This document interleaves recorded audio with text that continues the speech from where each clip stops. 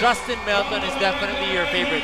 Chris Ellis will now have to take that away from him. Yeah, but uh, I'm sure he prepared for the, for this one and ito talagang uy, ito na si KG ang ginag ang gagawin niyang uh, assistant dito. Well, this is going to be huge. First time I think for KG to do this. I'm not sure, huh? Before he was jumping over people and right now And Chris Ellis will try to clear the 6 foot 6 KG Canaleta. Okay, he has 17 seconds here. Here he goes. That's the same dunk. Ano height ni KG? 6 foot 5, 6 6. Oh, 6'6". No, that's not easy. Kaya nga lang sinasabi nga natin, di ba? Ah, advantage of being a, a smaller player eh, no? Parang napaka mas maganda.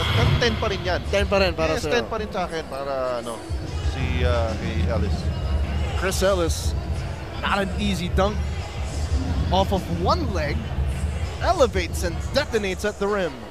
And clears KG Canaleta. Konting sabit, but you know, still jumping over a much taller guy. So three nines and a 10 for Eric.